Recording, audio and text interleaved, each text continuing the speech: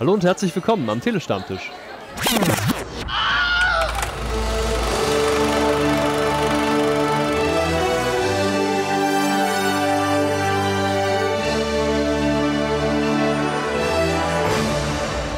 Cognition. Das scheint ein Überflieger zu werden. Ja, und wer hat ihn gesehen? Wir haben ihn gesehen. Ganz genau, Paul und Stu haben ihn gesehen und die erzählen euch, was das ist.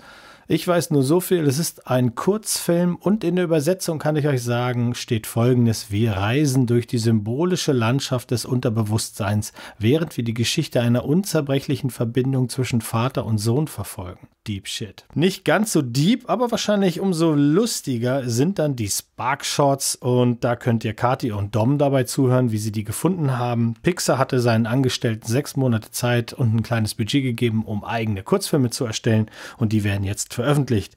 Am Ende könnt ihr mal gucken, was Max und Stu zu Bajoquero sagen. Unter Null.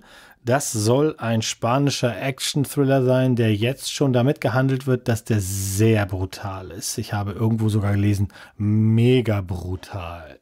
Mal sehen, was die beiden dazu sagen. Ja, wenn ihr dann noch eine Langeweile habt, kommt auf unseren YouTube-Kanal, lasst ein paar Likes da, ein paar Kommentare, das finden wir immer super. Auch geht in Kontakt mit uns, spendiert uns einen Kaffee, seid einfach dabei. Macht's gut. Hallo und willkommen beim Telestammtisch zur Besprechung eines Kurzfilms, nämlich Cognition. Ich bin der Stu und heute an meiner Seite ist der Paul. Ich grüße dich, Paul. Hallo Stu. Paul, äh, steigen wir mal direkt ein und du klärst die Frage, worum geht es in Cognition? Ja, und da greife ich jetzt mal ganz geschickt auf die Synopsis zurück, die uns da mitgeschickt wurde. Vega, ein atemberaubender Planet von unvergleichlicher Schönheit. Der zehnjährige Abner träumt von nichts anderem als das gesamte Universum zu erforschen, während er in der majestätischen Dämmerungshimmel von Vega blickt. Ja, bla bla bla. Das, das geht noch so nicht da in der Synopsis, da bin ich mir sehr sicher. Das geht, noch das geht noch so ein bisschen weiter, doch diese Träume sind alles andere als realistisch. Er und sein Vater Elias leben ein Nomadenleben auf der endlosen Wüstenlandschaft von Vega und ja, doch meilenweit entfernt gibt es eine andere Vega, eine staatlich kontrollierte Vega getrennt von den Kolonien. Eine Vega, in der nur eine Eliteklasse lebt, die ein technologisches Imperium aufgebaut hat, das im Universum unübertroffen ist. Ja, so. Dankeschön. Für euch da draußen noch kurz der Hinweis, dass der Film seit dem 2. Februar äh, draußen ist und ihr könnt ihn kaufen bzw. ausleihen bei iTunes, Amazon Prime Video, Google Play und YouTube Premium. Der Film hat eine Laufzeit von 27 Minuten und ist für einen Kurzfilm durchaus prominent besetzt, denn eine hm. größere Rolle hat Andrew Scott inne, den kennt man unter anderem als Professor Moriarty in den Sherlock-Filmen mit Martin Freeman und Benny Cumberbatch. Das heißt, äh, ein gewisses Grundinteresse sollte vielleicht für den Film da sein. Auch weil er ein seltenes Privileg hatte. Er wurde nämlich im November letzten Jahres, trotz Corona, lief er im Kino für drei Wochen. Oh. Limitiert. Und die Briten wollen diesen Kurzfilm zu den Oscars schicken. Ob er dann letztlich dominiert wird, das ist noch, naja, das wissen wir nicht. Das wird sich dann zeigen. Aber sie halten große Stücke auf diesen Science-Fiction-Film. Und ich muss sagen, der Film fängt an mit einem klassischerweise Vorspann und der Vorspann hatte mich. Ich weiß nicht, wie es dir ging, Paul, aber der Vorspann, da war ich dabei, der war stilistisch, der war toll und dann kam echt ein krasser Break, weil von diesem sehr, ich nenne es mal, stilistischen und monochromen Vorspann gibt es einen harten Cut und dann siehst du wirklich Greenscreen. also also nicht Greenscreen, aber du siehst äh, halt Andrew Scott. Was sagst du? Das wäre auch lustig, so ein Kurzfilm, der nur von einem Greenscreen spricht. ja.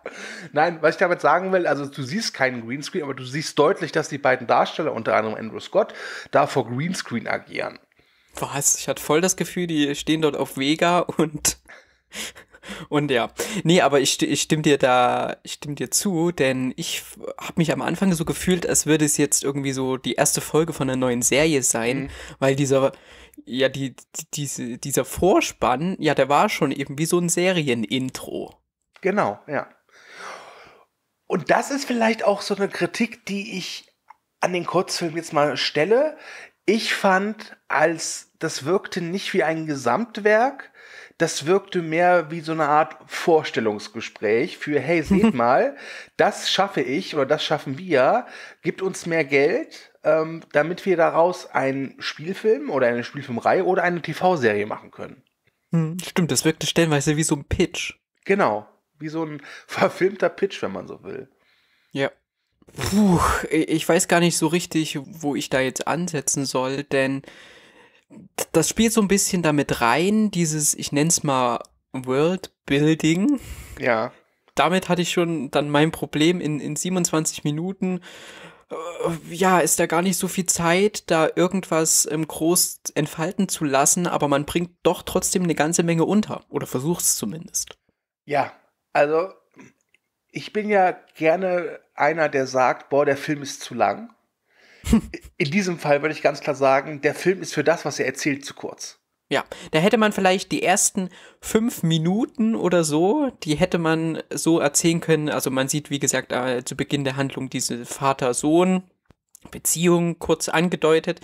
Die hätte man schon ausweiten können oder so oder halt auch die Schauspieler mal ein bisschen spielen lassen können. Und da hätte das vielleicht sogar schon für so einen kleinen Kurzfilm gereicht, aber nein, danach kommt ja noch eine ganze, ganze Menge. Wir haben einen Zeitsprung, wir haben dann auch noch so ganz viele verschiedene Ebenen, auf die man, auf der der sich vielleicht interpretieren lässt, aber mir war es für diese kurze Laufzeit auch too much. Ja. Ich weiß nicht, ob es dir auch so erging, aber bei mir war es so, ich habe auch irgendwann komplett den Überblick und Faden verloren. Irgendwann wirkte das einfach nur für mich so, okay, neues Science-Fiction-Setting, okay, Klischees, äh, zum Beispiel, oh ja, guck mal da, der böse äh, Wissenschaftler, der auch noch vom Deutschen gespielt wird und der so so dermaßen Denglisch spricht, dass dir nach zwei Sätzen klar ist, der ist böse. Ne? Ja, ich kann das nur unterstreichen und äh, dieses die, dieses too much, das, das zieht sich, äh, wie ich finde, nicht nur durch die durch die Handlung, die man da eben so vorgesetzt bekommt und die eben auch mit typischen Science-Fiction-Merkmalen oder ja, so ähm, durchsetzt ist, sondern auch bei den Effekten, wo ich mir manchmal denke, hm, okay, weniger wäre vielleicht ein bisschen mehr gewesen oder auch bei der Musik, die ich hier, es kommt selten vor, dass mir Musik negativ ins Auge, äh, ins Ohr sticht, entweder kriege ich sie nicht mit oder ich finde sie positiv, aber hier ist sie mir nach einer Weile ein bisschen auf die Nerven gegangen, denn es gab zumindest, wenn ich mich richtig erinnere, keine einzige ruhige Minute. Ja, das war so ein typischer Fall, wo die Musik auch so penetrant eingesetzt wird, dass und so generisch. Ja. ja, so so. Das ist jetzt traurig. Jetzt sei gefälligst auch traurig. Hör doch auf die Musik. Und das ist so. Ah, ich weiß nicht. Ähm, ich war wohlgemerkt von der Musik in der, durchaus in der Hinsicht beeindruckt, dass sie ja für diesen Kurzfilm tatsächlich das äh, Rundfunkorchestra da von der BBC bekommen haben. Ich kenne mich da jetzt nicht so sehr aus, aber ich kann mir vorstellen, dass die nicht unbedingt alles mitmachen.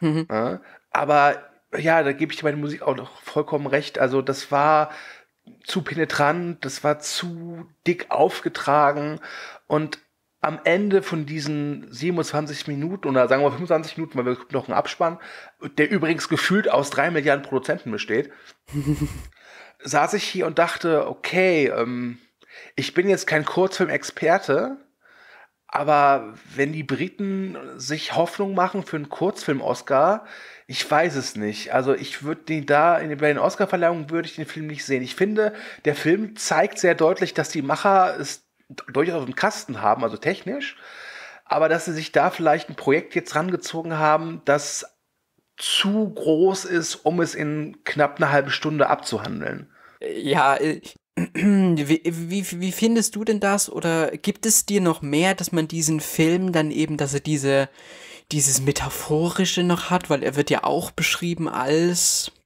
Moment. Diese Zeit nutze ich einfach, um euch mitzuteilen, dass beim Telestammtisch es noch diverse andere Podcasts gibt. Nicht nur zu Kurzfilmen, sondern auch zu Spielfilmen und zu Serien. Telestammtisch. Geil. Und wenn ihr mitmachen wollt, könnt ihr das gerne tun. Schreibt uns einfach an.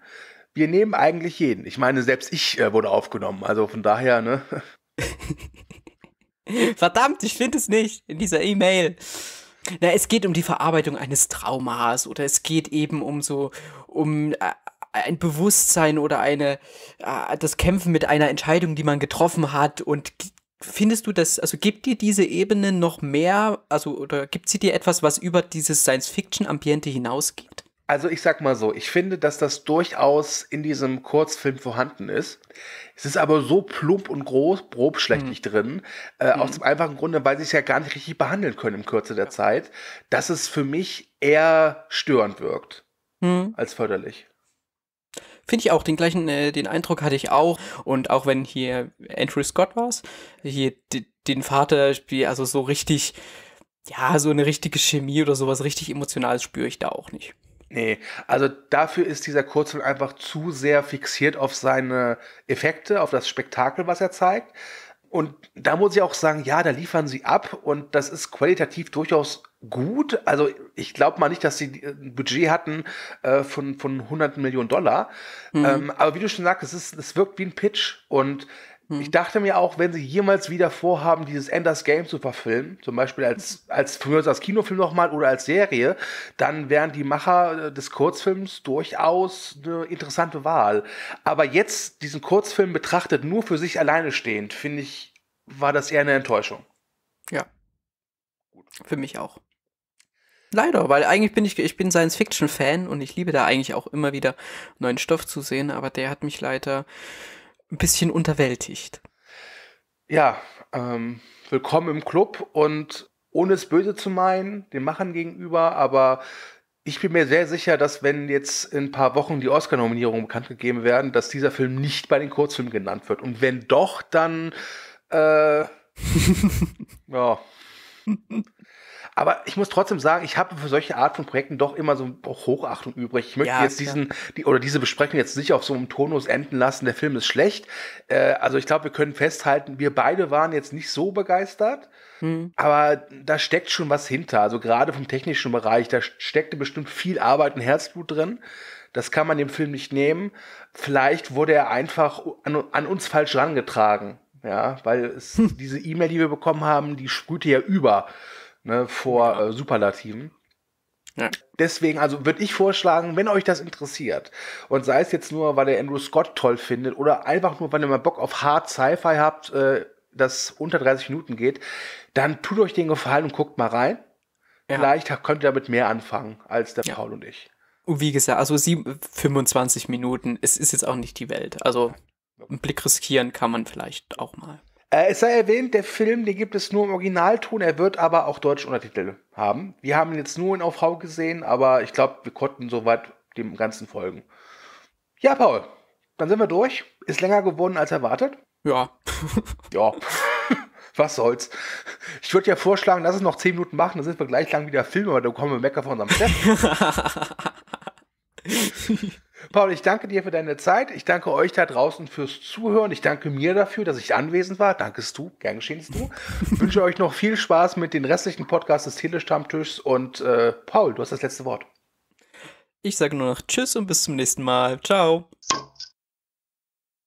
Disney Plus hat ja hier und da durchaus einiges zu bieten, abseits von The Mandalorian oder demnächst Wonder Vision. Aber hier sind auch kleine Schätze verborgen, die man wahrscheinlich nicht so auf dem Schirm haben dürfte. Und damit meine ich nicht unbedingt die Pixar Kurzfilme, sondern die Pixar Spark Shorts. Und die wollen wir hier in diesem kleinen, aber feinen Special ein bisschen unter die Lupe nehmen. Und das mache ich natürlich nicht alleine. Und wer bin ich überhaupt? Ich bin der Dom, ihr kennt mich wahrscheinlich schon und ich caste heute zum ersten Mal mit jemandem, mit dem ich seit gefühlten Stunden ein Vorgespräch geführt habe. Es waren nicht gefühlte Stunden, das waren Stunden. Es waren Stunden. genau, und damit ist sie hier, die Katharina. Hi. Hi, hi. Ja, du hattest die Idee dazu. Da kann ich mich schon mal recht herzlich bedanken. Äh, ich war ja letztens in meiner Pixar-Phase unglaublich begeistert von diesen Dingern, habe mir eins dem anderen reingezogen auf Disney Plus. Möchtest du den Zuhörern so ein bisschen näher bringen, was eigentlich die Pixar Spark Shorts sind? Ja, gerne. Es sind äh, animierte Kurzfilme halt von Pixar und ich habe gelesen, dass irgendwie Pixar-Mitarbeiter äh, irgendwie so Budget und ein halbes Jahr Zeit bekommen, dann können sie damit halt im Prinzip irgendwie machen, was sie wollen. Mhm. Und das sind mittlerweile acht Kurzfilme entstanden. Ne? Genau. Die ersten drei davon sind auch auf YouTube erschienen noch und dann der Rest auf Disney Plus. Und da geht es um die verschiedensten Themen, die haben die verschiedensten Animationsstile, aber was sie alle gemeinsam haben, ist, dass sie einfach wunderschön sind und auch wichtige Themen sehr schön verpacken. Ja, sehr wichtige Themen tatsächlich. Ne? Also man merkt, das sind alles größtenteils sehr persönliche Arbeiten. Es stehen manchmal sogar Widmungen irgendwie an verstorbene, äh, weiß ich nicht, Anverwandte oder Kollegen zumindest drin. Und äh, was vor allem sehr wichtig ist, also es war schon richtig, dass die von Pixar produziert wurden. Äh, realisiert sind die allerdings komplett unabhängig, soweit ich weiß. Okay. Also das sind richtige Indie-Streifen im Pixar-Gewand. Und das merkt man durchaus, ne? Auf jeden Fall. Also, da ist einer ist schöner als der andere und sie sind alle unterschiedlich und trotzdem auf ihre, auf ihre eigene Art alle total super. Man sitzt da und denkt man so, okay, den fand ich mega, das wird mein absoluter Liebling schon mein nächsten. Ah, der ist aber auch genial und das geht immer so weiter. Ja, vor allem ist halt schön, also wir haben natürlich schon Beiträge, die die natürlich schon, äh, wie man es halt von Pixar kennt, CGI 3D-Animationen sind. Wir haben aber auch einige, die ja wirklich so äh, klassische Animationen sind und das auch wiederum mit sehr eigenen Stilistiken, ne? Ja, zum Beispiel der neueste, der jetzt äh, Burrow, der auch vor, eigentlich vor Soul hätte im Kino laufen sollen. Genau. Äh, der ist auch so auf, auf 2D und schaut ein bisschen, also hat einen älteren Stil ein bisschen, aber einfach auf Hochglanz auch natürlich, weil es ist doch Pixar. Ja, äh, vielleicht greifen wir uns den sogar als allererstes raus. Also äh, kann ich jetzt mal vorweg sagen, also wir werden jetzt nicht alle acht Filme im Detail besprechen, aber äh, die, die uns persönlich mit am besten gefallen hatten und wo wir einfach äh, ja wirklich was zu sagen können, die wir auch tatsächlich für uns als wichtig empfinden. Also ich kann sagen, die sind alle sehenswert. Auf jeden Fall. Alle wahnsinnig kurzweilig. Lasst euch auch irgendwie nicht von den Laufzeiten auf Disney Plus äh, täuschen, wo ich es letzte noch mal gesehen habe. Das ist sehr seltsam. Also da gehen Filme dann irgendwie, die äh, mit, mit zwölf Minuten ausgewiesen werden, gehen eigentlich nur sieben oder fünf. Ja, mit, mit vier Minuten Abspann dann. Genau, genau. Der Rest besteht aus Abspann und aus äh, 1000 Texttafeln von 100 Ländern, wo das Ganze synchronisiert wurde. Genau. Und die, die in Deutschland synchronisiert wurden, oder beziehungsweise die deutsche Vertonung, die wurde immer oder entstand immer unter der Synchronregie tatsächlich von Patrick Roche den viele äh, kennen dürften als äh, deutsche Stimme von Kate Harrington in Game of Thrones. Da könnt ihr auch gerne, liebe Zuhörer, reinhören in ein relativ langes Interview, was der Kollege Andy Papelitzki mit Patrick Roche geführt hat. Das ist nämlich tatsächlich jemand aus seinem Bekanntenkreis. Sehr, sehr gerne reinhören. Ist mir, ja, fiel mir halt auf hier tatsächlich. Ich weiß nicht, ob du das jetzt so auf dem Schirm hast. Nein. Äh, der, der spricht zum Beispiel auch, oh, wie heißt der denn jetzt nochmal? Oh, der aus Panem. Äh, Sam Cleflin. Falls du den kennst, auch nicht. Okay, egal. Vielleicht schneide ich das hier sogar raus. äh, ja, kommen wir doch erstmal zu Burrow, der vor Soul lief. Hätte laufen sollen. Möchtest du kurz umreißen, worum es geht? Äh, ja, es geht um einen Hasen, der endlich sein erstes eigenen kleinen Bau haben will und der hat so einen kleinen Plan zeichnet, was er alles will. Und dann fängt er an, das zu bauen und trifft dann seine Nachbarn und Mhm. wird dann so ein bisschen unsicher und denkt sich so, ah, die haben alle viel schönere Höhlen und Gebäude und, also, oder ist eigentlich Höhle oder Mhm. äh, als, als ich und Zimmer und dann wird er total eigentlich traurig und fängt an zu graben und will aber unbedingt, also sagen wir so, er fängt an zu graben und sieht immer mehr, wie die anderen Tiere eigentlich wohnen. Er trifft Maulwürmer, Regenwürmer, Genau. Maul Maulwürfe, nicht der Würmer, Maulwürfe, Regenwürmer. Und am Ende kommt er aber dann drauf, dass es vielleicht doch nicht so schlimm ist, nach, um Hilfe zu fragen. Und sie bauen ihm ein richtig schönes Haus. Und der ist einfach total knuffig. Mehr kann ich dazu nicht sagen. Der ist so süß Mhm. und hat so eine wichtige Message, dass es okay ist, wenn man was nicht kann, dass man nachfragt, dass man Hilfe annimmt. Und hat es auf eine so schöne Art und so wie die meisten von diesen Kurzfilmen, ohne viel damit, also ohne viel Worte zu verlieren. Ja, also der verliert natürlich gar keine Worte äh, oder Ja. eigentlich nur, nur Tierlaute halt. Äh, Ja. ich, ich muss sagen, du hattest ja schon gesagt, dass der sehr oldschoolig ist. Ähm, ich weiß nicht, wie es bei dir ist. Du, ja, gut, das haben wir im Vorgespräch festgestellt, dass wir nicht unbedingt ein Jahrgang sind. Ja.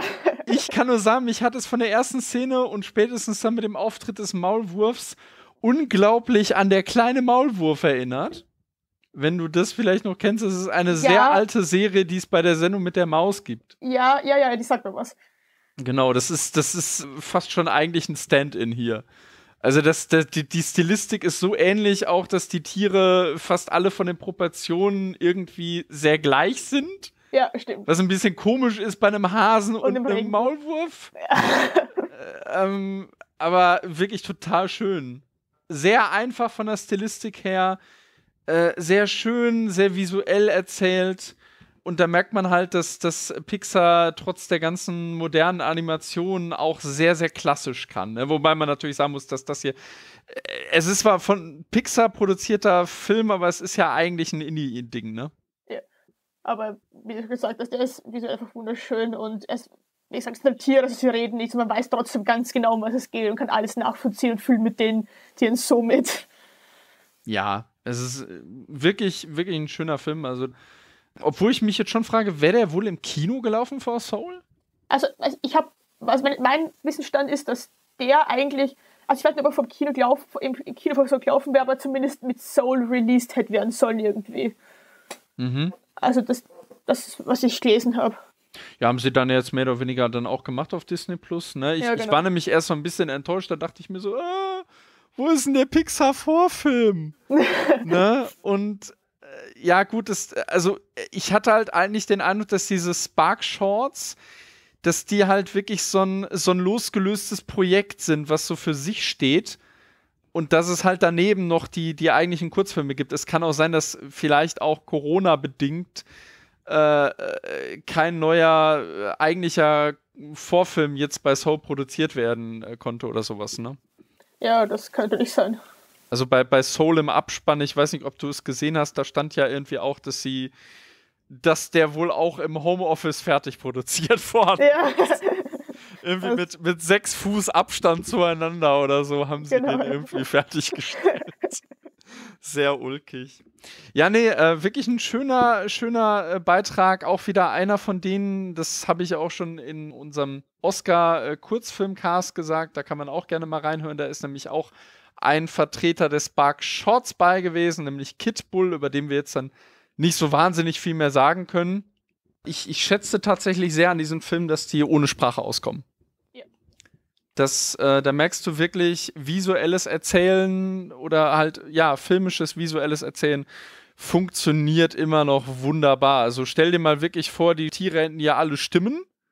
ja, das wird auch ein bisschen von dem Charme herausnehmen, glaube ich. Ja, eben, das, das, ja, und das ist halt ähnlich wie bei sowas wie, ja, ich kann es nur noch mal sagen, der kleine Maulwurf.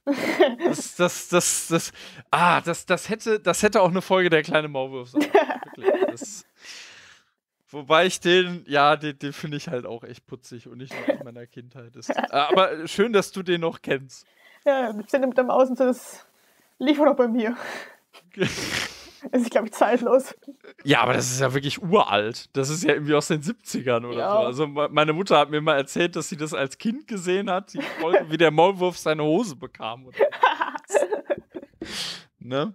Aber gut, das führt jetzt hier zu weit. Ich würde sagen, wir machen mal weiter. Also äh, Burrow kann man, kann man sich gerne ansehen. Vielleicht kommt man dann auch ein bisschen so. Also äh, wer diese Spark-Shots nicht so auf dem Schirm hat, ich glaube, Burrow wird auch irgendwie angepriesen auf der Startseite von Disney Plus. Ich glaube auch. Man kann die tatsächlich nur da sehen, ne? Die älteren kann man noch bei, Ja. bei YouTube sehen. Die ersten, glaube ich. Ich glaube, Pearl, Smash and Grab und Kid Bull sind auf YouTube. Genau, Pearl ist der allererste, meine ich. Ne? Ja, Dann mach mit dem weiter. ja. Pearl ist auch mein absoluter Liebling. Äh, bei Pearl ist ein, ein pinkes Wollknäuel. Und Ja. das kommt, also das heißt in Pearl, das kommt in eine Firma namens äh, Pro Corporation. Mhm. Und dort sind halt alles Männer. Weiße Männer vor allem. Ja. Und sie kommt dann halt rein und ist total voller Lebensfreude, freut sich total, dass sie da zum Arbeiten anfangen darf. Ihn, hat lauter so gestrickte Sachen dabei, belegt den Tisch damit mit einer bunten Hefe, mit einer bunten Decke und ist total glücklich und kommt aber halt irgendwann drauf, dass sie da irgendwie nicht da reinpassen, dass die, ihre Arbeitskollegen sie halt auch ignorieren und ausschließen und eben nichts mit ihr zu tun haben wollen, woraufhin sie dann anfangen, sich anzupassen und halt wie ihre Kollegen zu werden, wo sich auch so ein Anzug dann strickt und den dann irgendwie anhat, bis dann irgendwann ein zweites, ein gelbes Wollknäuel kommt und sie sich halt dann anfreunden und am Schluss sehen wir dann nur, wie die ganze Firma halt bunt ist. Es sind dann viel mehr Wollknäuel da und dann eben auch Menschen und wie die alle zusammenarbeiten. Mhm. Und das ist einfach ein wunderschöner Film. Sie reden, es ist, glaube ich, der Spark, bei dem am meisten geredet wird, was aber auch nicht stört. Und er ist wunderschön. Ich mag, äh, ich mag das, was der Film erzählt und wie er es macht. Und es ist mein absoluter Liebling von den acht. Ich kann es immer wieder sagen. Obwohl nicht gesungen wird. Obwohl nicht gesungen wird, ja. Hashtag Hamilton. ja. Beim Thema bleiben. Ja, nee, also ich, ich, ich muss sagen, äh, ich, äh, als ich Pearl entdeckt hatte, dachte ich mir so, ist das jetzt euer Ernst? weil der sah halt wirklich irgendwie doof aus. Auf den ersten Blick, weil, ja, ich, ich meine, gut, es ist, es ist ein Film, der halt extrem auf Kontraste setzt. Ja. Da muss man sagen, die Umgebung und die anderen Figuren in dieser äh, Firma, äh, was auch immer die da eigentlich machen, keine Ahnung, weiß ich nicht, halt Stromberg als Animationsfilm. die, die sehen halt aus wie typische Pixar-Animationen. Weitestgehend, re relativ so seriös. Und sie ist halt, äh, ja. Sie, ein großer Wollknoll. Ja, sie, äh, ein, ein, rosa Wollknoll, wirklich auch mit so einem Spongebob-Grinsen und später sieht sie dann ja auch aus so ein bisschen wie so ein platter Spongebob. Ja, das ist ein guter Vergleich. Ja. Ich, ich, ich dachte mir da so wirklich erst, also wie, wie gesagt, meint ihr das ernst? Und dann habe ich mir das Ding angesehen und muss sagen, ich fand den echt gut. Ja. Yeah. Die ist am Anfang irgendwie ein bisschen nervig. Und ja, gut, dass dass sie jetzt weiblich ist, das ist mir interessanterweise gar nicht mehr. Also gut, es fällt schon auf, dass da eigentlich auch nur Männer sind, klar. Aber da habe ich gar nicht im, so drauf geachtet, weil ich halt die ganze Zeit damit beschäftigt war. Äh, äh, warum ist sie ein Wollknäuel? also ich finde. Ja. Ich finde, das war gar nicht so störend. Das, das, war so, das war halt diesen, wie du gesagt hast, dieser Kontrast, der da, da ist. Und also ich meine, mhm. was ist ein stärkerer Kontrast als Männer im Anzug mit einem pinken Wollknäuel? Ja, ja, ja. Nee. Ja, das, äh, das mochte ich tatsächlich auch. Also es, es, es war auch halt total auf die Spitze getrieben. Also ich habe hier gerade ein Bild vor Augen, wie die da irgendwie ihren Platz eingerichtet hat. Alles ist gehäkelt. Ja. Und selbst der, selbst der Laptop, den sie irgendwie aufgeklappt hat, der halt aussieht wie so ein Apple Stand-in. Also so ein, so, so ein Mac oder was, selbst der ist irgendwie gestrickt. Das ja, ist schon. Das ist schon geil. Und ja. Es gibt so, die, die erste Szene ist, dass sie halt zum Aufzug stehen und sie sich halt total freut, dass sie da jetzt arbeiten darf und ihre, ja. ihre Mitarbeiter die bekommt. Und man sieht nur den, den Typen, der halt einführt und man schaut halt runter, weil das, sie ist halt auch halt ein Wollknäuel. Also es geht denen halt, weiß ich nicht, bis ein bisschen über die Knöchel und nicht weiter. Und man sie aber einfach gar nicht sieht. Und das ist halt so gut gelöst, dass es, ich fand sie von Anfang an sympathisch und der, der einer, also mein absoluter Lieblings von den acht. Ja, ich, ich war jetzt auch am überlegen, haben sie, weil es, das ist halt so ein starker Kontrast. Ist dieses Knäuel überhaupt animiert oder ist das eventuell sogar mit Stop Motion? Oh, das kann ich nicht sagen. Weil es sieht so echt aus, so plastisch. Und der Kontrast ist halt, das, ich, ich meine ganz ehrlich, es ist halt einfach ein Wollknäuel mit Augen und Mund. Ja. Mehr ist es nicht. Und mit riesen Lebensfreude. Ja. Und, aber die passt sich dann halt sehr stark an. Also, extrem stark. Also, was halt sehr gut rüberkommt, ist halt dieses, wo ich es jetzt auch nochmal zum zweiten Mal gesehen habe, hierfür, äh, die ist halt wirklich so die Neue auf der Arbeit und versucht halt irgendwie dazuzugehören. Also die stellt sich dann irgendwie zu den Kollegen, die Witze erzählen und lacht dann irgendwie übertrieben laut. Und genau, ja. Also das, das kommt sehr gut rüber und das ist tatsächlich auch abseits dieser äh, extrem starken Kontraste etwas, was, was funktioniert. Ja. Und äh, gleichzeitig ist die Message aber eigentlich auch sehr schön. Ja, okay. ich, ich, muss sagen, also doch, der hat mir sehr gefallen. Äh, äh, ja, nee, es ist, dass das halt für mich so ein, so ein Angriff auf die Augen oder auf die Sehgewohnheiten ist, das ist ja gewollt. Und das, das, das, das geht auch auf tatsächlich. Ja, natürlich. Weil man rechnet halt nicht damit, dass da in diese Welt halt ein kleines aufgedrehtes pinkes Wollknäuel kommt. Ja, vor allem halt schon, also auch, auch wie die da ihren, ihren Ausweis irgendwie angepinnt hat, das, das erinnerte mich so an Spongebob auch schon, der auch immer so blöde guckt auf so Ausweisbildern. Weiß ich nicht. Ich bin bereit, ich bin bereit. Kommt man irgendwie auch schon so durch, ey. Gott, ey. Ja. ich, kann, ich, ich kann die Spongebob-Stimme besser, aber ich mach sie jetzt nicht. äh, ich, ich dachte halt wirklich, immer kommt noch die Lache aus ihrem Mund, egal. Ja. Nee, also äh, äh, hat gut funktioniert, kann ich auch empfehlen. Was, was ich noch hervorheben kann, ganz kurz, die Musik ist sogar tatsächlich von einer bekannten Komponistin, nämlich Pina Toprak, die schon die Musik zu Captain Marvel unter anderem gemacht hat und die hier äh, ja einen reinen Jazz-Soundtrack äh, eigentlich abliefert, ne? Ja, stimmt, der ist ziemlich nice. Passt aber wunderbar. Ja. Und gerade für den Pixar-Film ist auch so diese, sage ich jetzt mal schon, Yuppie Wall Street-Umgebung, zumindest so ein bisschen semi, äh, auch was sehr Ungewöhnliches, ne? Äh, ich bin nicht mitkommen, aber du hast sicher recht.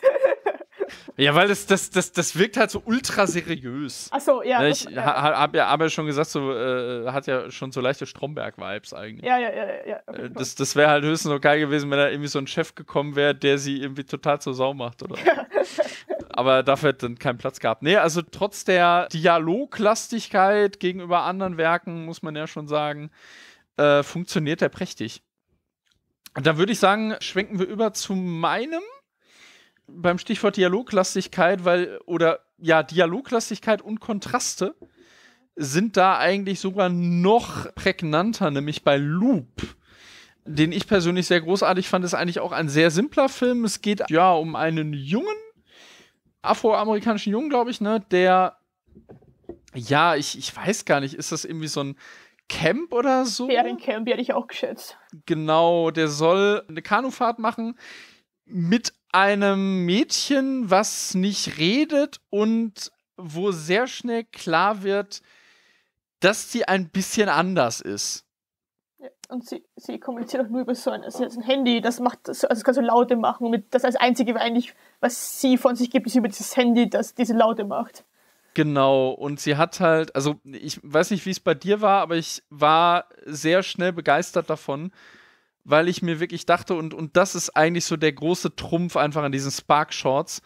Hier siehst du wirklich Sachen, die du weder bei Pixar noch bei Disney wirklich auf dem Schirm hast. Und mhm. Äh, da ist hier wirklich das Prägnanteste. Also wir kommen noch zu was anderem. Aber hier ist wirklich, also, also jetzt mal Hand aufs Herz, in welchem Disney-Film siehst du ein autistisches Mädchen?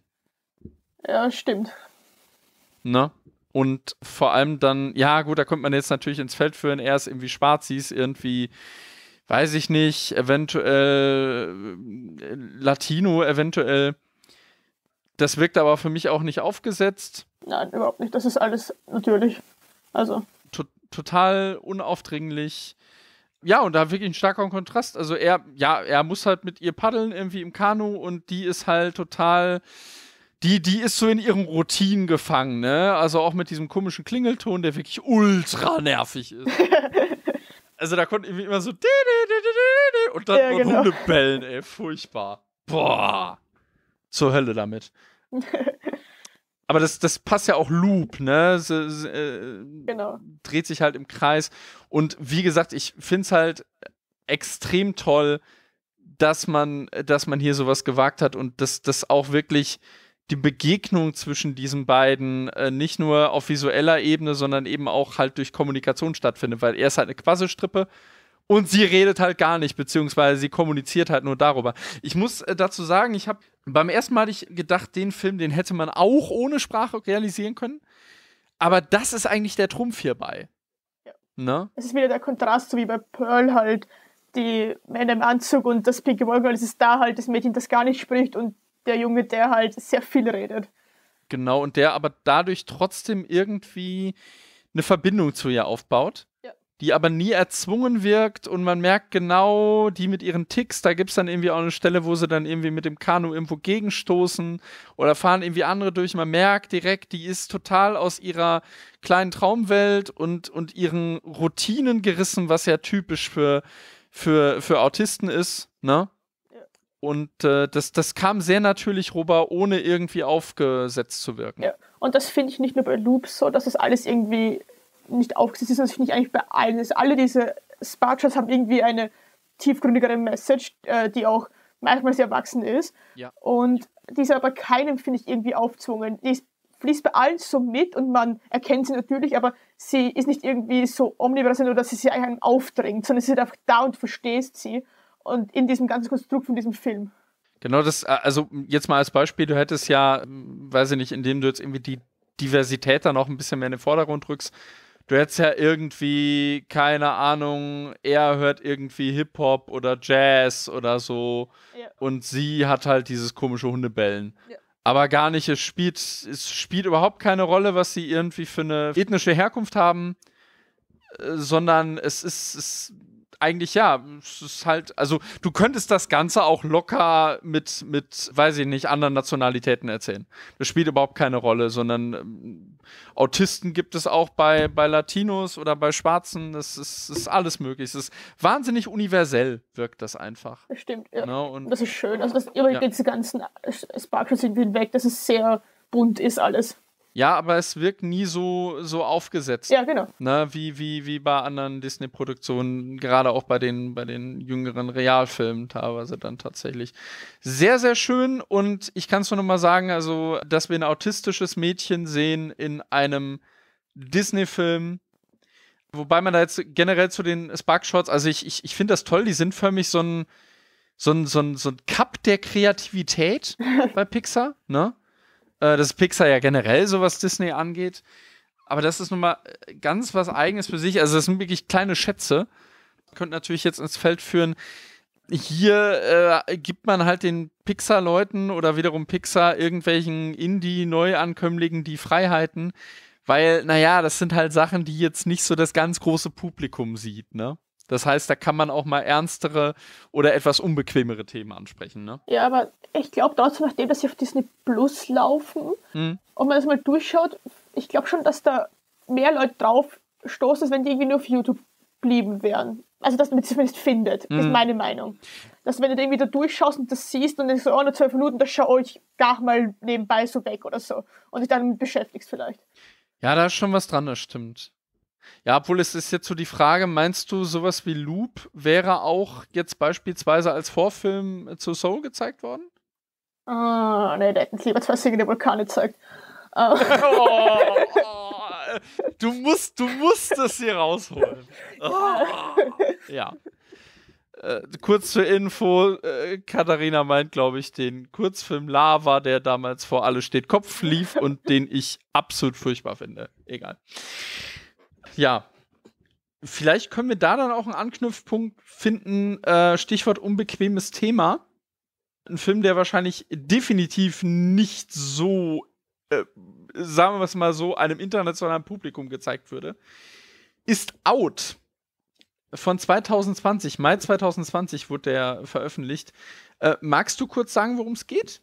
Ja, also es geht um ein schwules Pärchen und die ziehen um und dann kommen die Eltern von dem einen plötzlich zu Besuch und die wissen halt noch nicht, dass er schwul ist und der hat halt Angst, sich zu outen, weil er Angst hat, nicht akzeptiert zu werden und was seine Eltern denken werden.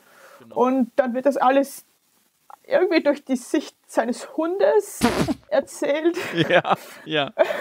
was alles ein bisschen schräg, aber trotzdem sehr nett ist und wie er sich dann, wie er dann zu seinem Outing kommt und dass seine Eltern ihn natürlich so akzeptieren, wie er ist und das eigentlich auch schon wissen, weil es sind seine Eltern. Genau. Ja, du hast jetzt wirklich schon die Tür eingetreten. Unbequemste Thematik überhaupt vielleicht. Und in, in der Hinsicht ist es vielleicht der bislang mutigste, also das bislang mutigste, was ich in den letzten Jahren von Disney gesehen habe. Ja. Wobei ich die demente Oma in Coco auch schon toll fand. Ja, Homosexualität, ne? Und zwar wirklich offen. Also wir sehen sogar wirklich, wir sehen in einem Disney-Animationsfilm einen schwulen Kuss. Aber ich meine, es ist 2020, es wird halt einfach schon langsam, also was heißt schon langsam, schon längst Zeit. Ja. Das, es ist, ja, es ist, weißt du, das, äh, da haben wir halt wieder Segen und Fluch zugleich da irgendwie. Es ist, es ist schön, dass es das gibt, aber zugleich ist es traurig, dass wir das als besonders hervorheben müssen im Ja. Jahr 2020. Ja, also ich habe ihn jetzt noch mal gesehen und ich weiß den Film auch zu schätzen für seinen Mut, muss aber sagen, äh, dass ich ihn doch ein bisschen schwächer finde. Das, mich hat das mit dem Hund so verwirrt. Ja. Ich, ich bin da, also, das, es, es geht dann irgendwie, dass sich halt der, der, der Geist des Mannes in den Hund und der Hund in den des Mannes. Und das, das hat Ja. Anfang, ich habe nicht mit gerechnet, ich habe einfach komplett überfordert damit. Und dann, dann dachte ich so, okay, ja, jetzt kommt, jetzt kommt, okay, aber das, das ist, also, es ist eine eigene Zählweise, aber eigentlich eine ziemlich schöne, finde ich. Das aus den, durch, den, die Augen des, des Tieres so zu sehen. Also das, das ist eine nette Idee. Das ist, das ist halt, jeder, der Show gesehen hat, das ist ja eigentlich die Kurzvariante davon. Und interessanterweise lief dieser Film nicht vor Show, sondern im Burrow. Ja. Also ich, ist nicht so, dass ich es nicht mag. Ich sag's aber ganz ehrlich, ich hätte das mit dem Hund gar nicht gebraucht. ja, das stimmt. Ich hätte, ich hätte eigentlich nur, weil es ist ja so, also äh, weiß ich nicht, die, die wohnen halt zusammen, schwules Pärchen. Die Eltern tauchen unvermittelt auf und er versucht halt die ganze Zeit das zu verheimlichen. Also sein Freund ist ja irgendwie weg und Ja, genau. äh, er versucht ständig dieses Foto von beiden zu verstecken. Das hätte mir gereicht. ja. Das hätte mir gereicht, halt irgendwie, oh, der versucht die Eltern irgendwie hinzuhalten, oh ja, weiß ich nicht, hier, ich äh, stelle euch Kekse auf den Tisch und lass äh, äh, nebenbei das Foto irgendwie verschwinden. Das hätte für mich völlig ausgereicht. Ja, aber ich weiß nicht, ob der Reiz so da gewesen wäre, wenn der Hund das nicht dauernd immer noch irgendwie wieder rausgebracht hätte. Dann wäre es einmal weg gewesen. Aber so, so ist es wieder, also immer dieses Hin und Her zwischen ihm und dem Hund ist, dass der Hund es irgendwie, dass es doch dann irgendwie immer auftaucht und erst wieder weg muss und so. Ja, ich fand das, ja, vielleicht, vielleicht ist diese Körpertauschnummer auch für mich so ein bisschen, so ein bisschen abgedroschen, sage ich ganz ehrlich. Was ich da auch sehr schade finde, dass der Film, also die Konfrontation ist ja äh, teilweise dann größtenteils zwischen dem, dem, dem Hund, also halt er, der in dem Hund steckt, Ja, und seiner Mutter. Und dann sehen wir aber gar nicht, weil er, er hat ja wahnsinnige Angst davor, dass seine Mutter halt rausfindet, dass, dass er. Also der, der drückt sich ja eigentlich um sein Coming Out, daher auch der Name, herum. Und schade finde ich dann aber, obwohl wir die meiste Zeit mit der Mutter verbringen, sieht man dann am Ende gar nicht wirklich die Reaktion der Mutter auf sein Coming Out. Ja, oh ja, also ich weiß nicht, ich finde schon, man sieht dann, wie sie draußen sitzt und sie das Bild dann sieht und also sie sagt ja, ich glaube, sie sagt, ähm, dass sie einen Mann findet, der sie glücklich macht, bevor sie das Bild sieht und dass sie, da, sie wusste das halt schon. Meinst du? Ja, ich glaube schon. Aber da hat sie ja mit dem Hund gesprochen, ne? Ja, eh, aber es, sie sagt zu dem Hund, ähm, dass er einen Mann findet, der ihn glücklich macht. Jemanden findet, oder? Nein, ich, ich hab, bin mir eins, okay, vielleicht habe ich das auch voll verstanden, aber ich bin mir eins, sie sagt, äh, dass, Ja, es, ist, es kann natürlich sein. Also ja, ich, ich habe ihn jetzt tatsächlich kurz vorher nochmal gesehen. okay, vielleicht habe ich das falsch in Erinnerung. Ich meine halt, dass es so wäre, der, der stellt irgendwie den Vater vor. Oder der, der, also am Ende stehen die ja da irgendwie mit am Barbecue-Grill und er stellt seinen Freund vor und der Vater begrüßt ihn direkt und umarmt ihn. Ja. Aber von der Mutter habe ich keine Reaktion. Ich, also ich bin mir eins, sie sagt das vor dem Haus, aber es kann auch sein, dass ich mich da jetzt irre. Also, Ja, da, da redet sie mir halt mit dem Hund. Ja, das, das, man merkt, das hat dich ein bisschen verwirrt, glaube ich. ja. Das, das, ja, und dann, ach, am Anfang, das, das mochte ich auch nicht so mit diesem, das, das wirkte auch so kontextlos irgendwie mit diesem, mit diesem rosa Hund mit einer Katze auf dem Rücken. Ja, Das war auch komisch irgendwie. aber er ist trotzdem, also man braucht sich davon nicht abschrecken lassen, auf jeden Fall schauen. Es ist ein Ja, das, das äh, auf jeden Fall. Ich, also, ich möchte es jetzt ist Jammern auf sehr, sehr hohem Niveau. Ich, ich, ja, nee, also, also auch, da- da müssen wir vielleicht auch mal äh, kurz im visuellen Stil sprechen. Das sind ja, glaube ich, sind das Wasserfarben? Es schaut so aus. Es schaut, ich weiß es nicht, aber es schaut so aus. Ja, Oder- es ist, ja, aber es ist gleichzeitig, also es ist, es ist dreidimensional, aber es wirkt halt wie, wie Wasserfarben. Sehr eigener Stil, allein dafür lohnt es sich eigentlich schon. Vom Figurendesign hat so ein bisschen was von Tim und Struppi. Also der ist, also ich wollte den jetzt auf keinen Fall schlecht reden, nur ich war jetzt doch erstaunt, wo ich ihn nochmal gesehen habe, weil vorher war ich so, oh, wow, wow, echt mutig. Und beim zweiten Mal so, mh, fallen mir doch so ein paar Macken auf, ne? Aber das ist schon, hast du schon richtig gesagt, das ist Meckern auf hohem Niveau. Ich wollte gerade sagen, ich habe es ich hab's gegoogelt und sie Mhm. sagt, wie sie vorm Haus sitzt, also sie sagt zum Hund, wo immer noch der, der Mann drin ist, you find someone that he makes you happy. Also sie weiß es. Okay. Okay, ja gut, das ist. Ja, das, das, das war auch eine schöne Szene. Keine Frage. Ja, auf jeden Fall. Also das ist. Guckt euch an, guckt euch alle an, ganz ehrlich. Auf jeden Fall, schaut euch auf jeden Fall alle an, die sind. Die sind großartig. Hast du noch, ich weiß nicht sonst, weil wir haben jetzt schon äh, eine gewisse Länge erreicht. äh, können ja mal kurz die anderen erwähnen. Also Kid Bull kann ich eigentlich nicht mehr äh, viel zu sagen. Da geht es halt um die Begegnung zwischen einem einer Katze mit riesigen Augen und einem äh, äh, Misshandelten Hund. Pitbull, genau, mit, mit sehr kleinen Augen, die sich irgendwie an, anfreunden und der Hund wird auch irgendwie misshandelt von seinem Besitzer und dann fliehen sie beide am Ende. Der Film war in der Auswahl zum besten animierten Kurzfilm bei den Oscars. Da haben wir, haben wir ein bisschen ausführlicher gesprochen in dem äh, Special zu diesem Kurzfilm. Da könnt ihr gerne reinhören. Da habe ich mit den Kollegen Till und Schlogger drüber gesprochen. Ja, dann gab es noch den mit dem fliegenden Baby, ne? Den finde ich auch, der ist, hat eine sehr wichtige Message und ist sehr, sehr nett gemacht. Ja, dann merkst du halt, der wurde von einem werdenden Vater, glaube ich. Äh, ich glaube auch, ja. Entweder werdenden oder frisch gebackenem Vater inszeniert. Der ist halt, ich glaube, der ist auch komplett ohne Sprache, ne? Ja, er, es gibt nur einmal, er sagt einmal was und das ist halt so die, die, die, die Quintessenz dann eigentlich von dem, von dem Shortspark. Er sagt einmal, uh, why can't you just be normal? Genau, genau. Und dann, ja, es ist ja, also der, der hat halt irgendwie sein, sein Kind, das fliegt und muss halt irgendwie die ganze Zeit verheimlichen, dass es fliegt. Genau, ja. Und dann irgendwie gibt es einige Situationen auf dem Spielplatz und solche Geschichten. Ja, den, den fand ich ganz nett. Das, ja, ich fand den visuell, glaube ich, so ein bisschen nicht langweilig, aber es ist halt. Es ist, es ist halt schön, wenn du bei diesen Spark-Shots wirklich völlig andere Stilistiken siehst. Ja, auf jeden Ne? Fall. Und da wirkte der so ein bisschen handelsüblich, sage ich mal. Was jetzt nicht unbedingt total negativ gemeint ist. Ja, auch sehenswert. Äh, Smash and Grab gibt es noch. Genau. Magst du kurz was sagen? Ja, über, es geht über zwei Roboter, die eigentlich versuchen, ihre Freiheit zu erlangen. Genau. Und die wirken so ein bisschen wie aus Wally and Lean. Ja, Also von diesen, von diesen Robotern, die ja irgendwie Fehlfunktionen haben und irgendwie ausgesondert wurden oder sowas, ne? genau. Und dann gibt es noch Wind. Genau. Da geht es auch um einen, eine Oma und den Enkel, die versuchen aus so einer. Es, es, es leben irgendwie unter der Erde und versuchen dort halt rauszukommen. Und bauen sich eine Rakete. Genau. Mit der Oma tatsächlich. Genau. Den fand ich auch recht schön. Ja. Auch wieder völlig ohne Dialoge. Auch sehr, sehr schön animiert. Äh, Irgendwie hätte ich noch gerne mehr von diesem Setting da irgendwie gesehen. Im Kurzfilm ist das ein bisschen. äh, Ja, ich weiß auch nicht, ich fand die Idee tatsächlich irgendwie faszinierend. Ja, aber man, man weiß auf jeden Fall, was er damit sagen will. Das auf jeden Fall, ja. Das, Also, das, das muss man ja sagen, subtil ist keiner dieser Filme. ja, aber trotzdem nicht aufdringlich.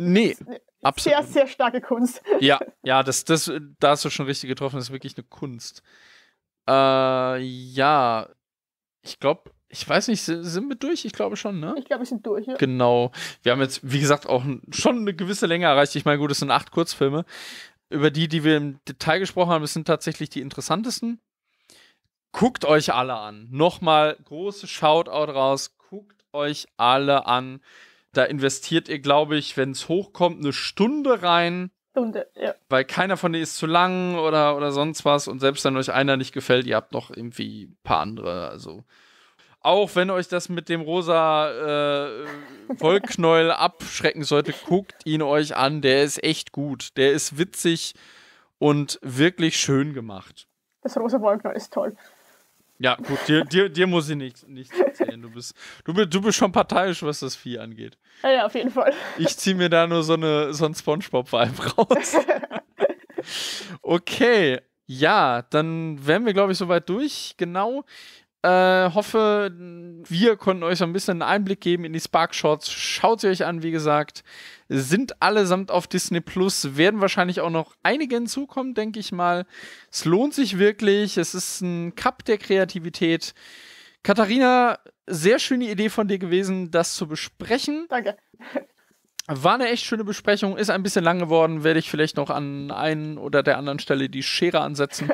Ansonsten würde ich sagen, verabschieden wir uns Wir haben jetzt gar keine Wertung vergeben. Äh, ich vergebe einfach so und so viel hüpfende Lampen als Empfehlung. Oder weiß ich nicht, diese, diesen Ball mit Stern. Rosa Wollknäuel. Grundsätzlich. Ja, oh ja, es, es, es, es muss nicht sein, genau. Und ich würde sagen, damit verabschieden wir uns. Macht es gut. Hat mich sehr gefreut, Katharina. Gerne Ebenfalls. wieder. Notfalls zu einem Pixar-Film. Ja. Ciao, ciao. Ciao. Guten Tag, liebe ZuhörerInnen. Mein Name ist Max. Bei mir ist der Stu. Hallo, Stu. Hallo. Und wir sprechen heute über Bajo Zero unter Null. Ein Film, der seit kurzem auf Netflix verfügbar ist, kommt aus Spanien. Und was passiert da? Ja, ähm, es geht um Martin oder Martin oder ich weiß gar nicht, wie, wie spricht man Martin im Spanischen aus? Ist ja egal, der Martin also. Der Martin. Ja, der arbeitet als äh, Polizist im Gefängnis oder als Gefängniswärter. Und ganz plötzlich kommt die Aufgabe rein, dass äh, mitten in der Nacht, in einer kalten Winternacht, ein Gefangenentransport durchgeführt werden muss. Und äh, unterwegs wird der Wagen angegriffen und äh, von den Polizisten ist, ist nur Martin derjenige, der den Angriff überlebt. Und er schafft es sich in diesem ja, äh, Gefangenentransporter zu verbarrikadieren. Allerdings hat er jetzt das Problem, dass draußen böse Leute sind und drinnen mit ihm sind böse Leute. Das ist natürlich dann nicht so die ideale Situation. Klingt eigentlich danach, dass der Film im wahren Leben wahrscheinlich so nach drei Minuten beendet sein müsste. Ja. Ja, Aber Martin ist wahrscheinlich jemand, der sich da durchschlingelt, oder? er ist äh, vom Heldentypus mehr so John McClane und nicht Mhm. Rambo. Er bekommt es auch ordentlich auf den Deckel, aber da bekommt es jeder ordentlich auf den Deckel. Ähm, ich lese öfters mal wieder, dass der Film beschrieben wird als äh, spanischer Con Air. Das kann ich absolut gar nicht nachvollziehen. Nur weil es da um Gefangentransporter geht, haben die Filme ansonsten wenig gemeinsam, also was die Inszenierung angeht und die Stilistik. Ähm, mich hat er eher an John Carpenters Assault, Anschlag bei Nacht erinnert, weil der Film hat auch was sehr Raues, was sehr Nihilistisches und ähm, ist sehr trocken inszeniert. Okay, hat er denn auch einen guten Soundtrack, wenn er dich daran erinnert? Oder Äh, Ja, also ist dir nicht aufgefallen? Du weißt doch, das Soundtrack ist nicht mein Metier. Also ich, die Musik ist mir weder im positiven noch im, neg äh, im negativen Sinn aufgefallen. Ja, aber gut, die wenn war man, da. wenn man, ein Carpenter, ne? Also, den, den erkennt man doch. Den erkennt man. Also wenn da jetzt äh, der Score von Carpenter wäre, das hätte ich gemerkt. Hätte das dann gepasst? Oder beziehungsweise, ich, ich fange mal anders an. Äh, Kommt er denn ran an Assault? Nein, Warum ganz und gar nicht? nicht. Ähm, also ich finde, dass der Film wirklich stark anfängt. Der hat mich zu Beginn an einen französischen Film erinnert, der heißt Cash Truck. Da dreht Guy Ritchie oder hat bereits gedreht ein Remake äh, mit Jason Statham. Juhu. Und der hat auch so was Nihilistisches. Und der fängt, also der, der äh, unter Null fängt wirklich, der ist trocken, der ist geradlinig. Das hat echt Freude gemacht. Sobald dann aber es anfängt, dass er zur eigentlichen Prämisse kommt, also dass dieser Martin da halt eben alleine für sich kämpfen muss, ähm, fällt es den Machern irgendwann echt schwer, aus, ja, aus der Situation alles rauszuholen. Vor allem auch, weil der, es ist ein typischer Film, der dir dann plötzlich so um die Ohren haut, so pass auf, jetzt kommt der große Twist, haha. Aber jeder, der mehr als zwei Genrefilme gesehen hat, der weiß nach ungefähr fünf Minuten des Films schon, aha, böse. Mhm. Ähm, deswegen hat mir das jetzt nicht so viel Freude bereitet. Also er fängt wirklich sehr stark an, aber er lässt nach guter Hälfte auch sehr stark nach.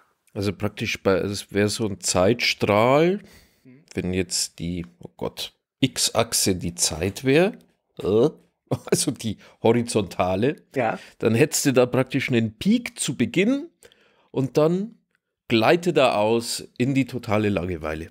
Ja, also äh, der erste Angriff auf diesen Truck ist noch recht gut und auch was dann so passiert, ähm, weil die Angreifer von außen auch relativ gnadenlos sind, auch teilweise mit den Insassen. Die wollen eine bestimmte Person befreien. Ähm, und es gibt einige Opfer, Und äh, wenn da gestorben wird, dann ist das auch sehr unschön. Es ist, ist ein Film, der durchaus äh, bewusst mit seiner Gewalt umgeht. Das heißt, wenn die Gewalt kommt, dann ist sie immer eruptiv und eher unangenehm, als dass sie jetzt wirklich als Schauwert fungiert. Mhm. Aber das Ganze, dem Ganzen fehlt dann letztlich dann doch irgendwie ein richtiger Bo Spannungsbogen, finde ich. Also ich da ist er nicht sexy genug. Genau, er ist nicht sexy. Das liegt vielleicht auch daran, weil ich als Heterosexueller keine einzige weibliche Frauenfigur hatte. Weibliche Frauenfigur klingt auch super, ne? Weibliche Frauenfigur, ja. Die, ja. ja, gut, es gibt auf männliche Frauenfiguren. Ja. Aber ja, die werden ja wahrscheinlich einen Heterosexuellen auch weniger anmachen. Von dem her passt es schon. Also es ist wirklich ein rein rassiger äh, Dickflick, wie es so schon heißt. Okay. Ähm, er und ich, Dickflick und Chickflick. Ich kann mir auch vorstellen, dass der Film viele Fans haben wird. Der ist ja auch aktuell sehr erfolgreich bei Netflix. Ich für meinen Teil äh, war dann leider enttäuscht, weil er, er fängt halt echt stark an. Ich saß hier, äh, habe mir den angeguckt. Es war so eine spontane Entscheidung. Ich wusste auch gar nicht, dass der erfolgreich ist. Ähm, und dachte in den ersten, also 30, 40 Minuten, boah, der ist richtig gut. Weißt du, das erfüllt gerade mhm. so meine Genregelüste. Ähm, aber danach, hm, also er, wie, wie gesagt, er, er schafft einen guten Einstieg, aber er schafft es halt nicht, die Qualität zu halten. Und am Ende fand ich ihn ehrlich gesagt nur noch doof. Ich bin aber ehrlich gesagt jetzt auch ein bisschen traurig, denn es, also wenn ich, wenn ich mir jetzt so vorstelle, so ein, so ein gefangener Transport, der ist ja wahrscheinlich keine Ahnung. Da hast du dann die Spielfläche von vier Quadratmeter. Ja. Ja. So in etwa stelle ich mir das vor. Wie muss ich mir das vorstellen? Der steht dann da und ist dann mehr oder weniger so im hinteren Teil des Trucks, wo die Leute eingesperrt sind und hält sich die dann mit einer Waffe vom Leib und mhm. oder wie?